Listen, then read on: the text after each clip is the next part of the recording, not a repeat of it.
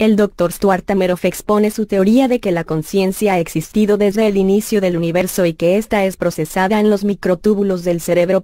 En una reciente emisión del excelente programa de divulgación científica, Through the Wormhole, narrado por Morgan Freeman, el Dr. Stuart Ameroff expone su teoría de lo que le sucede a la conciencia en la muerte.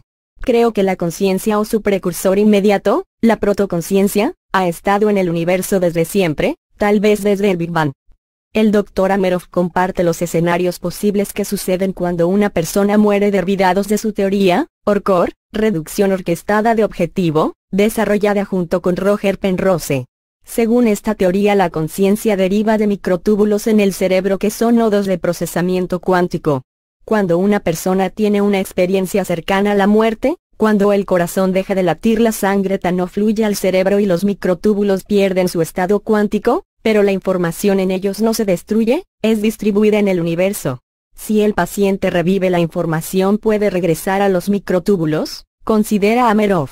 Es posible que la información cuántica exista indefinidamente fuera del cuerpo, como un alma, dice Amerov, quien defiende que nadie en la comunidad científica ha podido desafiar su teoría.